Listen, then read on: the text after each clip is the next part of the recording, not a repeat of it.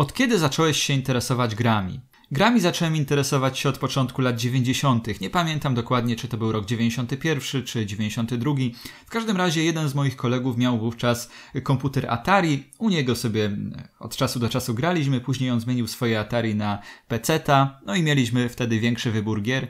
Także graliśmy i w przygodówki. Natomiast ja swój pierwszy komputer otrzymałem od rodziców w 96 roku, PC-ta. Wcześniej, dwa lata bodaj wcześniej, w 94 plus minus rok, dostałem od nich konsolę Rambo. To była podróbka jednej z wersji Atari. No i tak to się zaczęło. Wcześniej też kupowałem czasopisma poświęcone grom komputerowym, Top Secret między innymi, tak w okolicach 96 roku też zacząłem je czytać. Także mam już ponad 20-letni staż związany z grami komputerowymi. No i jeśli dożyję, to jeszcze co najmniej te 20 lat przede mną, myślę. Niewykluczone, że także w roli let's playera, więc co niektórzy długo się ze mną pomęczą. Nie no, oczywiście żartuję, nie wiadomo jak to będzie. Która z gier ma dla ciebie szczególne znaczenie? Cóż, o tym już mówiłem, mówiłem i w poprzednim Q&A'u i w tym Q&A'u chodzi oczywiście o grę Sanitarium, o tę przygodówkę, która zrobiła na mnie wielkie wrażenie, była całkowicie dla mnie nieprzewidywalna, również bardzo emocjonalna, tak podszedłem do niej z wielkim zaangażowaniem i wkręciłem się w całą fabułę, mocno ją przeżywałem, dlatego tak, właśnie Sanitarium jest dla mnie niezapomnianą i szczególną grą. Jak wyglądały twoje początki w nagrywaniu? Muszę przyznać, że wyglądały trochę nieporadnie. W 2010 roku odkryłem, że istnieje coś takiego jak let's playe. Wtedy to ktoś na forum, chyba jeszcze przygodówki.pl, tak, e, podał link do jednego z filmów Niezapominajki z najdłuższej podróży. Zajrzałem wtedy na jej kanał, obejrzałem sobie fragment tego filmu, no i mi się spodobało. Spodobało mi się mm, zarówno sam film, jak i taka forma nagrywania, prezentowania też gier komputerowych, pomyślałem, że można w ten sposób y, zaprezentować przygodówki szerszej publiczności.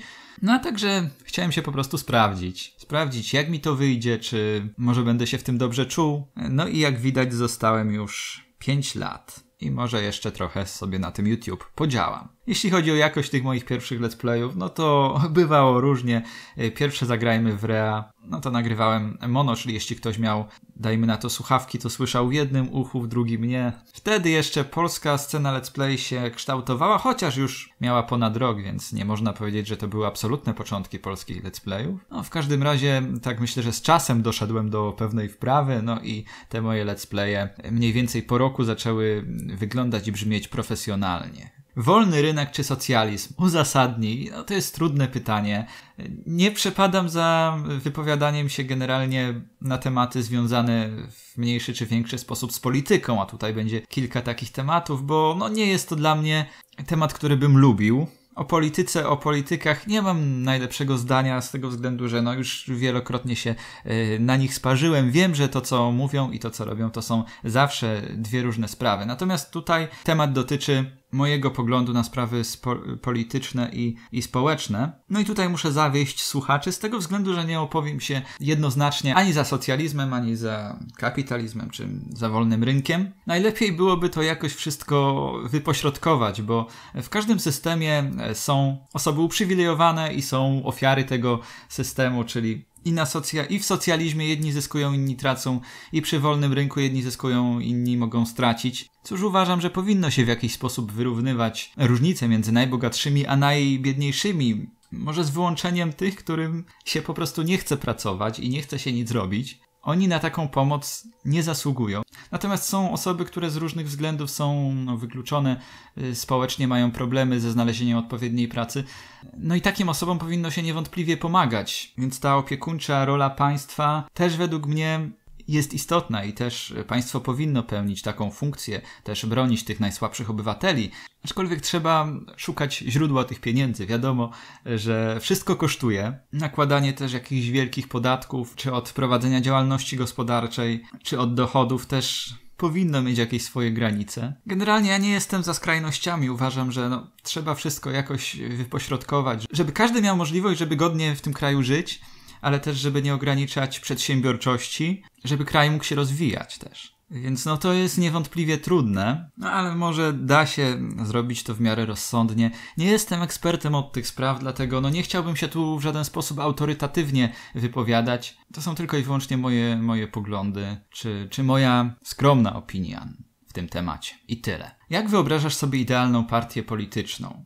Cóż, przede wszystkim zostawię tutaj kwestie programowe, bo dla mnie idealna partia polityczna powinna unikać takich zabiegów socjotechnicznych. Powinna być szczera, czyli mówić nie tylko o zaletach tego, co chcą wprowadzić, ale także o wadach, zagrożeniach, czyli przedstawiać pełny obraz sytuacji. W tej chwili właściwie większość partii politycznych działa na zasadzie e, takiej, że nasi przeciwnicy polityczni są źli, niemoralni, natomiast my jesteśmy wspaniali. No i tak to się odbywa. Natomiast nie ma zupełnie mowy, żadnej mowy o tym, co dobrego robią nasi przeciwnicy, o ich dobrych pomysłach i o zagrożeniach, jakie niesie nasz program, czyli o tym, co może z niego wyniknąć też złego.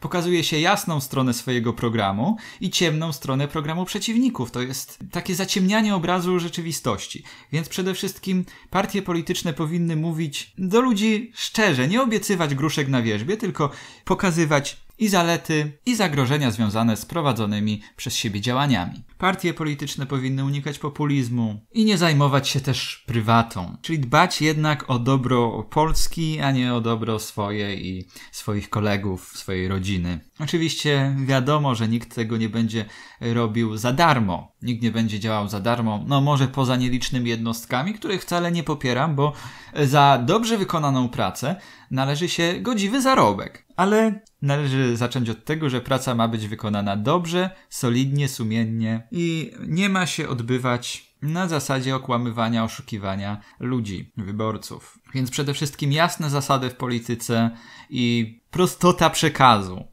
i prawdziwość tego przekazu. To przede wszystkim. Jeśli takie będą partie polityczne, to łatwiej będzie im po pierwsze zaufać, a po drugie wychwycić te różnice programowe i samemu sobie zanalizować, co może przynieść jakieś mm, korzyści, a co może przynieść straty. Jakie są i nadzieje, i zagrożenia związane e, z danym programem, bo taki szary, zabiegany człowiek nie ma i czasu, i, i, energii na to, by wszystko analizować, wszystkie za i przeciw, by wgłębiać się w program każdej kolejnej partii. No ale cóż, to co powiedziałem, to są tylko mrzonki. Tak nigdy nie będzie, bo każdy jednak dba o to, żeby no, te swoje stołki zdobyć i utrzymać, a nie to, żeby powiedzieć ludziom prawdę. Z obecnych partii, no to trudno właściwie powiedzieć, bym miał jakiegoś swojego faworyta. Może też nie warto aż tak y, skrajnie podchodzić do ich działalności i demonizować wszystkiego, bo też są kraje, które mają gorzej od nas, ale jest też wiele takich, które mają lepiej. Pewnie jesteśmy gdzieś po środku i zawsze należy dążyć do tego, by było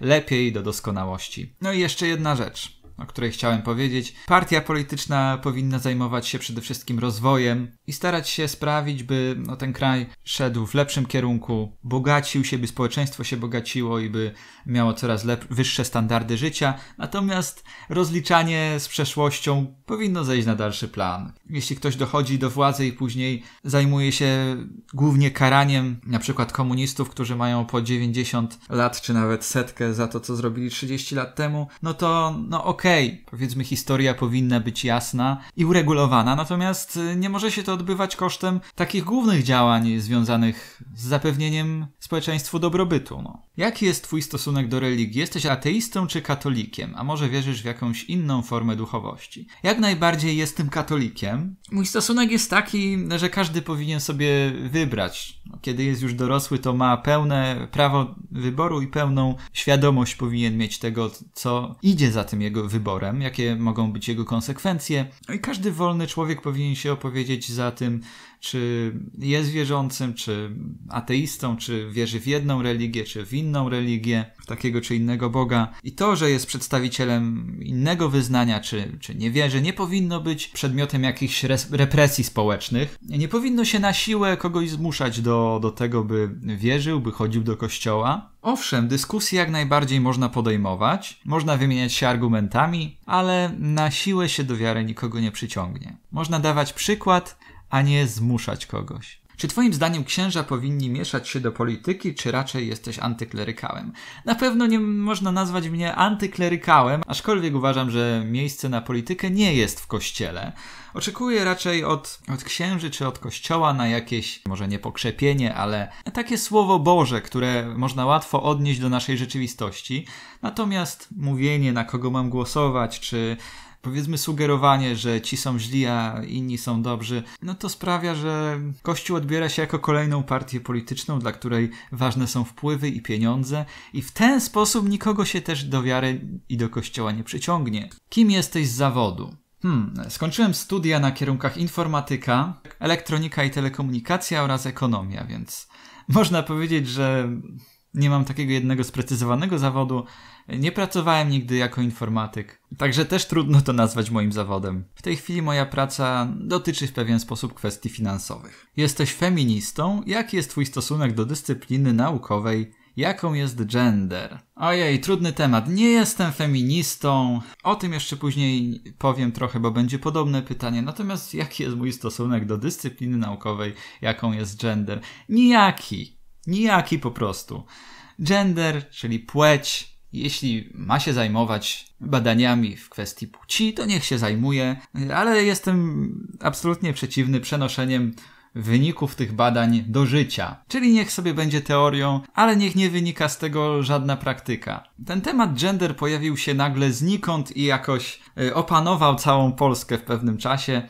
Nie wiem, jedni to uważają za dyscyplinę naukową, inni za ideologię. Ja nie wnikam tak szczegółowo w te kwestie, natomiast uważam, że takie pomysły jak ubieranie się na przykład chłopców w spódniczki czy, czy w sukienki i takie, taka zamiana ról w dzieciństwie chłopca na dziewczynkę, dziewczynkę e, na chłopca, no to jest chore.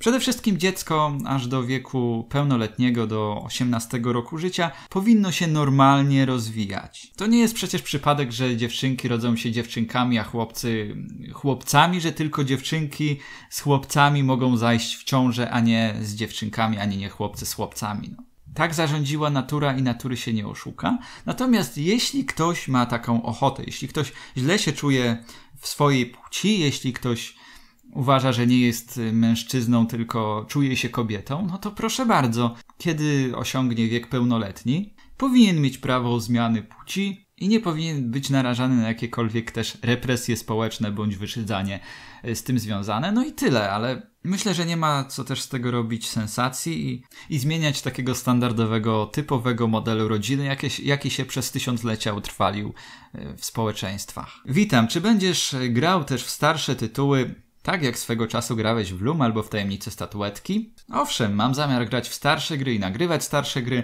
Oczywiście, kiedy będą miały polską wersję językową, bądź będą do nich dostępne nieoficjalne spolszczenia. Niestety z tym jest problem bardzo często. No i z tego powodu jest mały deficyt e, starych, dobrych przygodówek na moim kanale, ale mam nadzieję, że ten deficyt uda się zniwelować i że jeszcze nagram wiele dobrych, fajnych tytułów z lat 90. Masz kogoś? Jesteś w związku z upartą zołzą, czy jesteś wolny? Nie, nie jestem w związku z upartą zołzą. Jesteśmy przyjaciółmi. E, nie mam nikogo, no co od razu nie oznacza, że jestem wolny, bo, bo to słowo wolny brzmi tak, jak na przykład podchodzę do kogoś i pytam, czy to siedzenie obok niego jest wolne.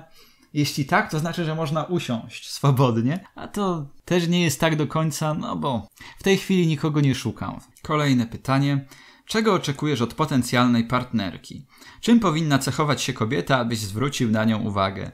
Dokończ zdanie. Mam słabość do kobiet, które.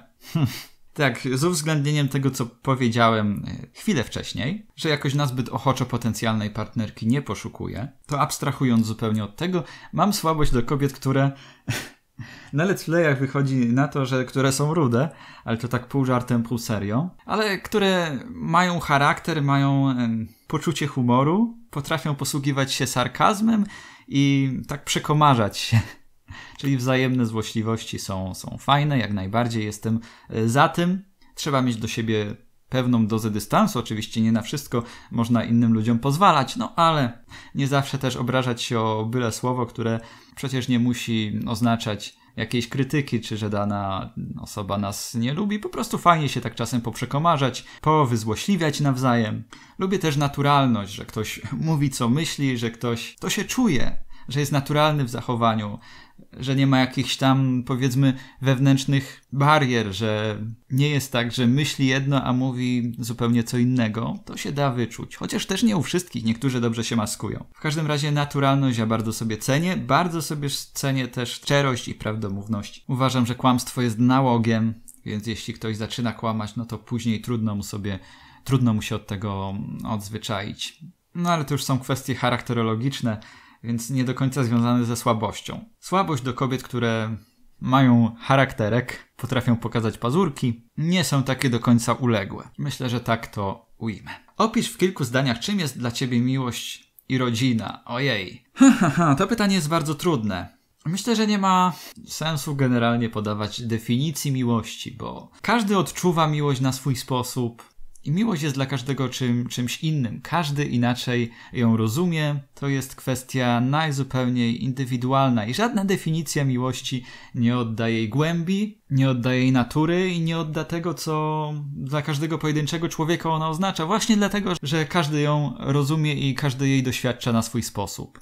Dla mnie miłość to na pewno wielkie uczucie, które z jednej strony potrafi być e, najwspanialszym uczuciem na świecie, a z drugiej strony potrafi też sprawić, że człowiek się czuje najpodle, jak tylko się może czuć. No wiadomo, kwestia, czy miłość jest e, odwzajemniona, czy nie, no, tego typu sprawy, czy jest szczęśliwa, czy jest nieszczęśliwa. Więc z jednej strony najpiękniejsze, z drugiej też najbardziej e, bolesne i najtragiczniejsze momentami uczucie. Rodzina to jest nieco inny typ miłości. Czy do rodziny czuje się nieco inną miłość niż do osoby, e, którą się pozna i którą się pokocha. Tutaj są więzy krwi i to, że no, od początku jest się razem, wspiera się siebie nawzajem. Rodzina jest bardzo ważna, oczywiście, to, to jest też podpora zawsze w tych trudniejszych chwilach. Oczywiście mówię tutaj o, takim, o takiej dobrej rodzinie, bo różnie to bywa w różnych rodzinach. W każdym razie i miłość i rodzina to są na pewno takie dwa fundamenty życia. Jeśli ktoś doświadczy szczęśliwej miłości, jeśli ktoś ma taką fajną, szczęśliwą też rodzinę, dobrze rozumiejącą się, to myślę, że może być w życiu szczęśliwy właśnie. Jakiego jesteś wyznania? Jak ważna dla ciebie jest wiara? Odpowiadałem już na bardzo podobne pytania Jestem katolikiem. Wiara jest dla mnie ważna, niewątpliwie. Aczkolwiek, tak jak mówię, wiara to jest coś, co ja odczuwam i nie musi tak samo wierzyć ta osoba, która jest obok mnie, która stoi teraz z mojej na przykład prawej bądź lewej strony, bądź przede mną, bądź za mną. No, każdy ma swój własny, wolny wybór i ma do niego prawo. Na pewno nie mogę rezygnować ze swojej wiary, dlatego że ta dana osoba wierzy w co innego bądź nie wierzy, ale też nie mam prawa żądać od kogoś, żeby był wierzący, bo ma prawo myśleć inaczej niż ja. I kto wie, kto ma rację. Nigdy tego nie będę wiedział na 100%, no może dopiero po śmierci się dowiem, albo i nie. Jaki jest Twój stosunek do współżycia przedmałżeńskiego? Stosunek, tak? Stosunek do współżycia. Hmm, też uważam, że jest to kwestia wyboru. Mogą być katolicy, którzy no, zgadzają się z tym, że współżycie małżeńskie jest warunkiem koniecznym do tego, żeby później w pełni to małżeństwo przeżywać, do tego, żeby przygotować się do małżeństwa, żeby też, mm, nie wiem, udowodnić to, że ta miłość nie polega tylko na współżyciu, ale mogą być też i katolicy, którzy mają inne przekonanie, którzy uważają, że współżycie przedmałżeńskie w żaden sposób nie umniejsza, nie deprecjonuje wagi tej miłości, którą oni się darzą. Uważam, że jest to kwestia wyboru i dogadania się danej pary, czy chcą współżyć dopiero po zawarciu małżeństwa, czy, czy chcą to robić jeszcze przed. Bądź w ogóle może nie chcą na przykład zawierać sakramentu małżeństwa. Też tak może być. Jesteś za tradycyjnym podziałem obowiązków w rodzinie, czy może preferujesz równouprawnienie zarówno w kwestii pracy zawodowej, jak i obowiązków domowych? To dla mnie taki trochę zabawny temat, bo to jest narzucanie jakichś ram feminizmu, równouprawnienia na coś, co powinno być naturalne. Żyjmy tak, aby nam się żyło wygodniej, abyśmy się lepiej ze sobą dogadywali. Jeśli kobieta lubi wykonywać czynności, które są uważane za bardziej męskie, czy lepiej dostosowane, dopasowane do mężczyzny, no to dlaczego ma tego nie robić? Jeśli mężczyzna ma ochotę gotować, siedzieć w kuchni, a kobieta woli pracować, poza domem, no to niech tak będzie. Rodzina polega na odpowiednim dogadaniu się. Na tym polega życie w rodzinie, więc ja tutaj nie widzę jakiegoś problemu, czy powinno być równouprawnienie, czy jednak standardowy podział obowiązków. Jeśli kobieta z mężczyzną zawierają małżeństwo, no to myślę, że też powinni się dogadać w tych kwestiach, tak żeby im się dobrze ze sobą żyło, a nie kierować się tym, czy jest standardowy model rodziny, czy też powinno być równouprawnienie. Kwestia powinna być taka. Dzielmy się obowiązkami tak, by nam obojgu żyło się jak najlepiej, a inne kwestie są po prostu mniej istotne. Jaki jest Twój stosunek do aborcji? Jesteś bardziej osobą pro-life czy pro-choice? W jakich przypadkach uważasz ten zabieg za dopuszczalny, a w jakich za kategorycznie zabroniony i karygodny? Kolejny trudny temat, który bezpośrednio mnie nie dotyczy i pewnie nie będzie dotyczył. Wiecie, uważam, że jeśli ktoś nie chce mieć dzieci, to ma do tego prawo, ale tutaj pojawia się taki problem, że jest w tej chwili dozwolona i dostępna antykoncepcja. Jeśli ktoś uważa, że antykoncepcja mogła w danym wypadku zawieść, to są teraz pigułki, które można zażywać chyba 24 godziny po stosunku, bądź nawet 72 godziny. E, no i one mogą później uchronić przed ciążą. Więc jeśli są dostępne skuteczne i w miarę pewne metody na zapobiegnięcie ciąży, no to myślę, że rozsądny człowiek, który ma możliwość zażycia e, tego rodzaju tabletek, może uniknąć później na pewno tej moralnej dla wielu traumy związanej z aborcją. Na pewno nie jestem mimo wszystko za kategorycznym zakazem aborcji. Jeśli, tutaj sprawa profesora, czy tam doktora, doktora Hazana, jeśli dziecko ma się urodzić ułomne, jeśli ma cierpieć po urodzeniu, wegetować tylko, no to ja myślę, że jeśli taki doktor się powołuje na sumienie, to właśnie sumienie powinno mu dyktować pomoc dla tej kobiety. Jeśli sam nie przeprowadza, powiedzmy, aborcji, no to powinien jej wskazać, do kogo mogłaby się udać w tej sprawie i uchronić i kobietę od traumy i cierpień, i to dziecko później od y, cierpień i od konieczności takiego życia bez życia, od wegetowania. I to właśnie powinno dyktować takiemu doktorowi sumienie, a nie to, że dziecko się powinno urodzić i cierpieć, i kobieta powinna w tym momencie również cierpieć. On naraża wtedy dwoje ludzi na cierpienie, kierując się własnym sumieniem. To jest ciekawe. To jest taka lekka hipokryzja i dla mnie mimo wszystko lekko niemoralne to, co dr Hazan robił z pobudek sumienia. Więc tak, jeśli dziecko ma być później, ma cierpieć, ma nie mieć żadnych perspektyw na e, zdrowy rozwój i na długie życie, to taka aborcja jak najbardziej powinna być dopuszczalna również po gwałtach. Aczkolwiek w pozostałych przypadkach uważam, że no, jeśli kobiety mają możliwość uchronić się przed ciążą, jeśli je, jej nie chcą, a mogą czy zażywać tabletki przed stosunkiem, czy nawet po nim. No to też trudno później no, karać dziecko, które już mimo wszystko żyje w trakcie ciąży i chyba odczuwa też. Także to jest już pod względem moralnym no na pewno trudne do zaakceptowania taka po prostu aborcja z niczego, że kobieta nagle się rozmyśliła i nie chce mieć dziecka i chce przeprowadzić aborcję. Czy jesteś mocno związany ze swoim miastem? Byłbyś gotów wyjechać za granicę lub chociażby do innego miasta ze względu na pracę lub partnerkę? Mógłbyś żyć z dala od rodziny i znajomych z dzieciństwa? Czy stanowiłoby to dla ciebie duży problem? Cóż, ja mam chyba więcej znajomych czy przyjaciół na Śląsku niż tutaj w Kielcach w tej chwili. Także no myślę, że byłbym w stanie wyjechać gdzieś do innego miasta. Jeśli byłoby to w Polsce, to myślę, że nie stanowiłoby wielkiego problemu odwiedzenie tutaj na miejscu w Kielcach rodziny czy znajomych jakichś miejscowych. No, kilka godzin jazdy i byłbym tutaj. No i w kilka godzin bym też mógł wrócić.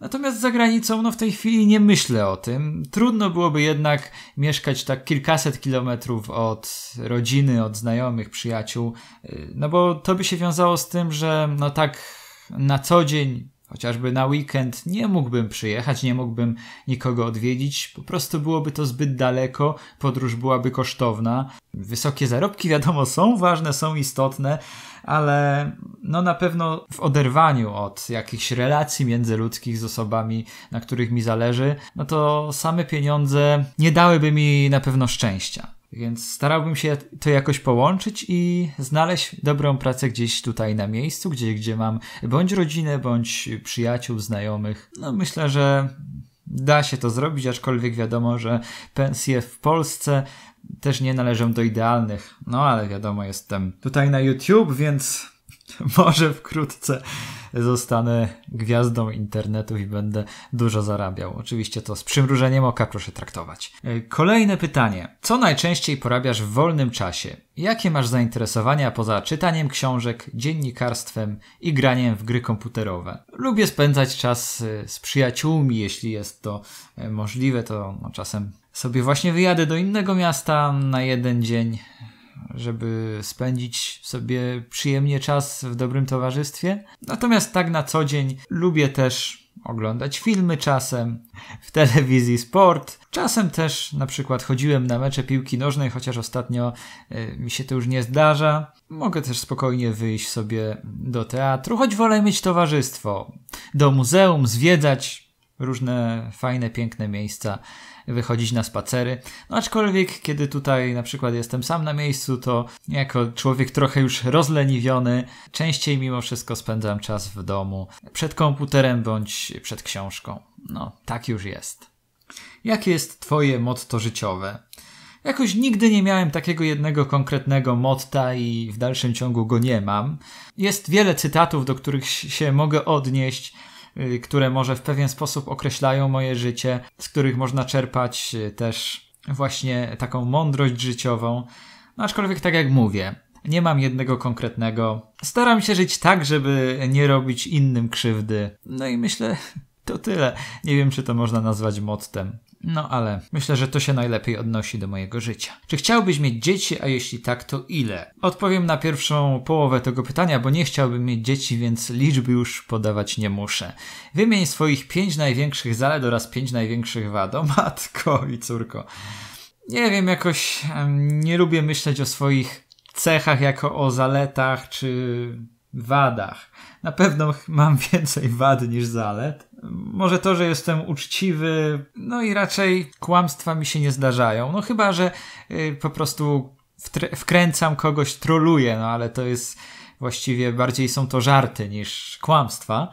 No nie wiem, trudno mi podać swoje jakieś inne zalety. Pięć największych ja nawet nie potrafię wymienić w ogóle pięciu swoich zalet, więc no po prostu skupię się na tym, że tak, staram się być uczciwy i też sumienny. Jeśli mam coś zrobić, to jednak chcę to zrobić dobrze, a nie byle jak. Może dlatego, że tak rzadko y, coś pożytecznego robię, że właśnie hmm, trudno mi to dobrze zrobić. I, więc jeśli uznam, że nie zrobię tego dobrze, to nie robię wcale ale to już chyba jest bardziej wada. No wady, no to na pewno jestem trochę leniwy. No i takie cechy osobowości, które na pewno nie pomagają mi w codziennym życiu. Raczej należy do osób nieśmiałych i do osób, które może nie potrafią się zawsze tak dopasować, dostosować do otaczającej rzeczywistości, do, do innych osób. Nie lubię się dostosowywać, bo uważam, że to, co mi się podoba, to do tego mam prawo. Mam prawo do jakiejś swojej indywidualności. No i jeśli nie chcę czegoś robić, no to po prostu tego nie robię i tyle. Natomiast no, trudno mi nawiązywać czasem bliższe relacje z y, innymi ludźmi. No i potrzebuję po prostu dużo czasu, by z kimś swobodnie y, rozmawiać, by przejść z takiej znajomości wymuszonej, bo kogoś mijam na ulicy, no to znam, bo z kimś pracuję, no to go znam, do jakichś bliższych relacji, do powiedzmy luźniejszych rozmów. No i z tego względu też rzadko nawiązuję jakieś przyjaźnie czy bliższe znajomości, na przykład w zakładzie pracy, w szkole czy czy gdziekolwiek. To mi przychodzi z trudem. No, jestem taką trochę e, aspołeczną jednostką, bez wątpienia. No, ale jeśli kogoś już bliżej poznam, no to takich problemów wtedy chyba nie ma. Nie chcę wymieniać pięciu zalet i pięciu wad, bo myślę, że to nie ma sensu. Bardziej to wszystko uważam za swoje cechy, które trzeba zaakceptować. Więc bardzo mi przykro, ale na to pytanie nie udzielę takiej pełnej odpowiedzi. Co sądzisz o osobach, które boją, wstydzą się publicznie mówić o swoich poglądach i wartościach, jakie rzekomo wyznają? Tutaj są dwie takie sprawy, o których chciałem powiedzieć i nie można ich mylić. Jedna sprawa to swoje poglądy i fakt, że nie należy się ich wstydzić. Jeśli coś się tam gdzieś w głębi siebie czuje i uważa się coś za słuszne, no to nieważne, że komuś się to nie spodoba, że y, może ktoś się z tego będzie śmiał, ale to są moje poglądy. Ale druga sprawa jest taka, że to, że ja mam takie, a nie inne poglądy, to nie znaczy, że inni ludzie, czy nieznajomi, czy znajomi przyjaciele, muszą mieć podobne, muszą się dostosować do tego, co ja myślę. Nie warto nikomu na siłę wtłaczać swoich poglądów, Nie ma sensu kogoś przekonywać, że ma się wyłączność naprawdę, a to, co inni sądzą, a nie zgadza się z tym, co ja akurat na dany temat y, myślę, uważam, to jest od razu złe. A niestety sporo jest takich osób, które próbują na siłę wtłaczać do głowy innym swoje podejście do danych spraw. To jest złe, więc podsumowując, o swoich poglądach warto mówić, ale nie należy do swoich poglądów na siłę nikogo przekonywać. Dyskutować można, można się wymieniać argumentami, no ale na tym się to powinno kończyć. Jest jakaś szansa na wspólną serię z upartą zołzą? Ja bardzo chętnie bym coś z upartą zołzą nagrał, aczkolwiek cóż, to jest kwestia do, do gadania z pewnością. E, na pewno jeszcze z Deloperem, z Mary Kaiden, być może z Niezapominajką, jakieś takie wspólne serie, czy kooperacyjne, czy polegające na rywalizacji w różnego rodzaju grach. Chętnie bym nagrał. No i myślę, że jest też chęć, no nie tylko z mojej strony, a we dwoje z upartą Zowzą. No nie wiem, już mamy na swoim koncie takie serie, wprawdzie nagrywane dawno temu, bo jeszcze w 2012 roku. Ja jestem otwarty na tego rodzaju serię bądź pojedynczy film. Nie wiem, jeśli uparta Zolza będzie miała kiedyś też na coś takiego ochotę, to może coś z tego będzie. Zobaczymy. Nie mówienie. Czy bywasz czasami agresywny, a jeśli tak, to w jakich sytuacjach? Kiedy gram czasem i mnie coś zdenerwuje, to potrafię yy, no, myszką, może niezbyt mocno, ale jednak uderzyć o biurko. Yy, agresji fizycznej w stosunku do innych ludzi to raczej trudno się po mnie spodziewać, mimo że czasem wpadam w złość to mi się zdarza. No i nawet potrafię krzyknąć, czy powiedzieć coś nieprzyjemnego. To na pewno, ale na tym się zazwyczaj kończy i nie zdarza mi się to często. Bardziej to jest na takiej zasadzie, że nie odzywam się, nie odzywam się, aż wybuchnę. Ale spokojnie, jeszcze trochę nad sobą panuję więc bez obaw. Nikogo chyba w twarz nie uderza, chyba że jakieś się nadzwyczajne okoliczności zdarzą, ale takich nie przewiduję. Jakie jest Twoje największe marzenie? Myślę, że ta kwestia powinna pozostać niedopowiedziana i niewypowiedziana. Takie największe marzenia to są zwykle rzeczy bardzo osobiste, rzeczy, którymi można się dzielić co najwyżej ze swoimi przyjaciółmi najbliższymi, no a nie z całą społecznością YouTube'a. Więc mam kilka takich marzeń, czy, czy rzeczy, które chciałbym kiedyś w życiu zrobić, no ale na temat największego marzenia bądź marzeń nie powiem publicznie. Których YouTuberów udało Ci się poznać osobiście, to znaczy w prawdziwym świecie? Jest kilka takich osób. Pierwszą osobą, którą poznałem osobiście jest uparta Zouza. Tak mniej więcej 3 lata temu poznałem ją osobiście. Już wcześniej się znaliśmy z internetów, natomiast mniej więcej 3 lata temu pierwszy raz spotkałem upartą Zouzę. Później trzeba by już przejść do roku 2013, już takie, taka bardziej jesienna pora, kiedy właśnie wspólnie z upartą Zowzą poznaliśmy Mary Kate N i Delopera, no i jak się okazało, y, później jeszcze wielokrotnie mieliśmy się okazję spotykać.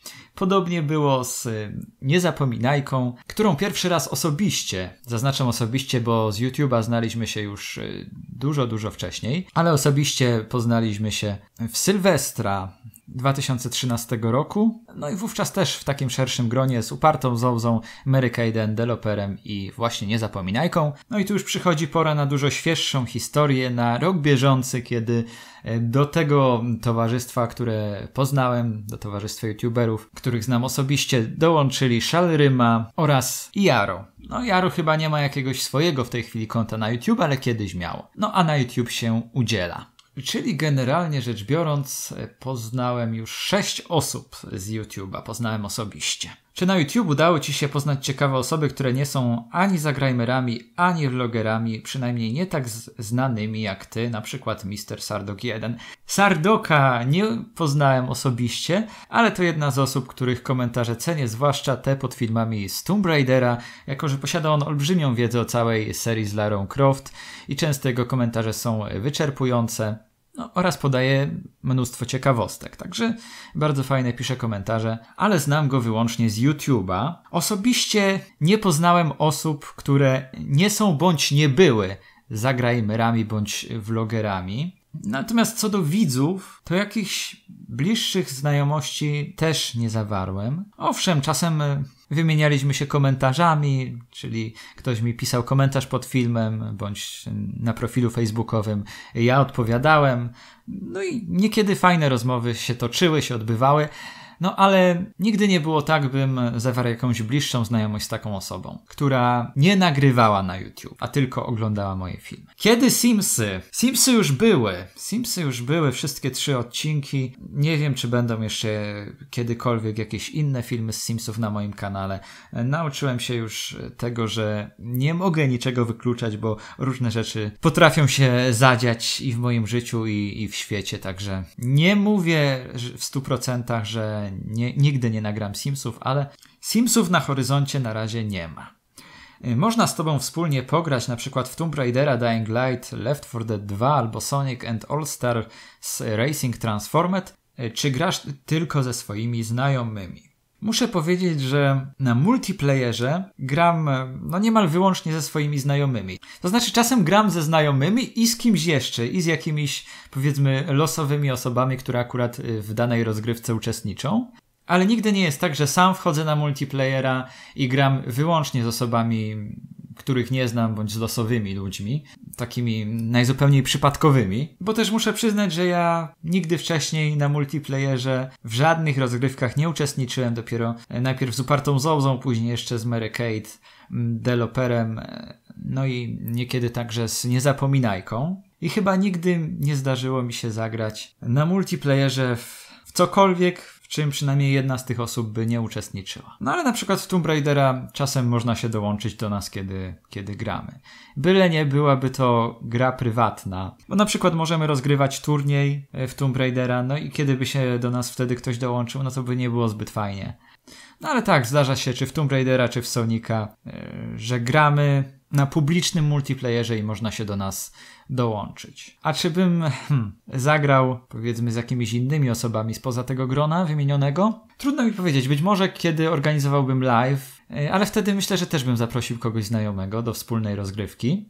No i również nie wykluczam, że kiedyś z jakimiś innymi osobami, powiedzmy widzami, których już trochę lepiej znam, których kojarzę z YouTube'a, być może z osobami, które też nagrywają jakiś e, filmik z gościnnym moim udziałem, kiedyś nagram. Tego nie wykluczam. No ale generalnie lepiej czuję się w towarzystwie znajomych przyjaciół. No i po prostu wtedy mi się chce grać na multiplayerze. Czy któryś z Twoich widzów zaimponował Ci w jakiś sposób, albo chociaż mocno zaintrygował Cię swoim komentarzem lub wiadomością prywatną? Jeśli tak, to czy można spytać, kto, kto taki?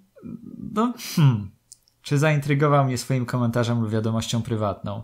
A kiedy jeszcze oboje nagrywaliśmy z upartą zołzą, no to fajne były na początku dyskusje, yy, czasem w komentarzach bądź w wiadomościach prywatnych. No i bardzo miło, bardzo fajnie mi się wtedy właśnie z upartą zołzą wymieniało komentarze pod filmami. To były takie komentarze, których obecnie ze świecą szukać. Yy, czyli nie ograniczające się do jednego zdania, do napisania, że coś jest fajne lub zostawienia komentarza nie na temat, ale takie, które dotyczyły tego, co akurat można było zobaczyć w filmie, bądź samej gry, swoich wrażeń. To była wymiana poglądów, wymiana wrażeń na temat rozgrywki, na temat tego, co akurat się w filmiku zdarzyło, bądź na temat mojego komentarza dotyczącego właśnie mm, danego materiału. No i niestety coraz rzadziej takie komentarze pod moimi filmami się w tej chwili pojawiają. No bardzo tego żałuję, no ale cóż, jest jak jest. Natomiast co do innych różnych widzów, no to fajnie było czasem przeczytać komentarze. Właśnie takie, po których widać było, że ktoś film obejrzał, że ktoś odniósł się na przykład do tego, co powiedziałem, bądź do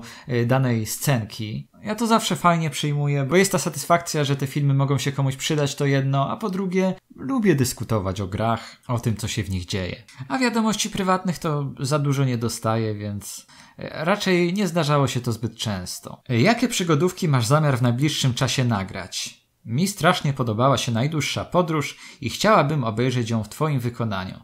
Pytałam również kiedyś o zaginięcie Itana Cartera i pisałeś, że ją masz, więc mam nadzieję na let's playa. No i nadal czekam na Black Mirror 3. Wiem, wiem, już o tym mówiłam. Wiem, że to dużo roboty, ale może będę jakąś motywacją. No ale wiedz, że czekam i czekać będę. Cóż, już to mówiłem, że nigdy nie robię daleko idących planów. Zawsze kiedy kończę jedną serię, to zastanawiam się dopiero nad następną. nie wiem, może nastaną takie czasy, kiedy będę nagrywał, dajmy na to, dwie równocześnie. No wtedy skończę dwie i będę miał od razu dużo do rozmyślań. Będę rozmyślał nad kolejnymi dwiema seriami. W każdym razie trudno mi powiedzieć. Black Mirror 3 y, może się pojawić na kanale. Kto wie, może nawet przed publikacją tego odcinka QA może się też nie pojawić. Zaginięcie Itana Cartera. W tej chwili mam już y, komputer, który mam nadzieję podoła tej grze. Jeśli mi się spodoba, to jak najbardziej mogę ją nagrać. E, najdłuższa podróż, tak, mam ją w planach od długiego czasu, ale gra jest dość obszerna. Na pewno e, mnóstwo czasu zajmie mi nagrywanie i wstawianie poszczególnych odcinków, więc to jest dość czasochłonny projekt. Dlatego nieco go odsuwam w czasie, no ale pewnie kiedyś się pojawi. Co do innych gier, to niech one pozostaną niespodzianką i dla Was, i dla mnie. No nie ukrywam, że tak jest, że nieraz zamierzam już nagrać dany tytuł, a później okazuje się, że przez kolejne dwa lata nie ma go na moim kanale, a są za to gry, o których wcześniej bym nawet nie pomyślał, że mogę y, nagrywać z nich materiały. Taki już jestem, no i takie panują zasady na moim kanale. Jaki jest Twój ulubiony typ gier? Myślę, że dla większości moich widzów nie będzie to tajemnicą, że moim ulubionym gatunkiem gier są przygodówki, których na moim kanale jest mnóstwo. Serii przygodówkowych już jest 50 y, chyba, bądź około niemal 50. Kompletnych, nagranych od początku do końca. I będą pojawiać się na pewno kolejne takie serie. A co do konwencji, to właściwie każda mi odpowiada. Lubię i horror, horror, i fantazy, science fiction, y, kryminał, thriller. Czasem też sobie lubię pograć w takie tytuły, które są może pozbawione wielce angażującej fabuły, ale jest w nich spora dawka fajnego humoru. Więc przygodówki różnego typu. Jakie książki najbardziej lubisz czytać? Myślę, że tak. E, po pierwsze kryminały, po drugie horrory, no a poza tym od czasu do czasu też dobrą powieść opartą na wydarzeniach historycznych, książkę przygodową, fantazy, no science fiction też, czemu nie. W zasadzie każdy gatunek może poza jakimiś romansidłami, które nie do końca może do mnie trafiają, albo po prostu nie mam na nie ochoty. Myślę, że dobrze sobie urozmaicać i książki, i gry, więc na przykład w przerwach między kryminałami bądź horrorami przeczytać jakąś powieść fantazy bądź historyczną, coś innego, czego dawno się nie miało okazji poznać. Wtedy nie wpadnie się w rutynę, wtedy też nuda omija z daleka. I cóż, może nie jest to gwarancja, ale na pewno jeden z warunków tego, by po jakimś czasie nie miało się dość książek i no, nie było konieczności zrobienia sobie dłuższej przerwy od czytania. Z graniem jest podobnie. No i dotarliśmy wreszcie do tej chwili, kiedy skończyły mi się pytania. Bardzo długi był tegoroczny QA. Myślę, że przekroczył zdecydowanie 3 godziny, a może i zbliżył się do 4. Ale fajnie, bardzo się cieszę, że zadaliście mi aż tyle pytań. To znaczy, że mimo tej niewielkiej liczby komentarzy pod poszczególnymi filmami, ciągle jest zainteresowanie tym, co robię, czy powiedzmy moją osobą na YouTube. To znaczy, że ta moja działalność tutaj ma sens. Dlatego jeszcze raz dziękuję wszystkim za pytania. Odpowiedziałem chyba na wszystkie, może nie na każde obszernie, czy tak jak osoby zadające pytanie sobie życzyły, ale wiadomo, nie o wszystkim można i nie o wszystkim chce się mówić publicznie. Dziękuję jeszcze raz. Zachęcam do komentarzy pod innymi filmami, do przesyłania mi swoich sugestii czy uwag, nawet słów krytyki. Każda szczera opinia jest cenna. I mam nadzieję, że z większością z Was jeszcze usłyszymy się w kolejnych let's playach, a może innego rodzaju filmach na moim kanale. To tyle, czas kończyć. Do usłyszenia. Pa pa.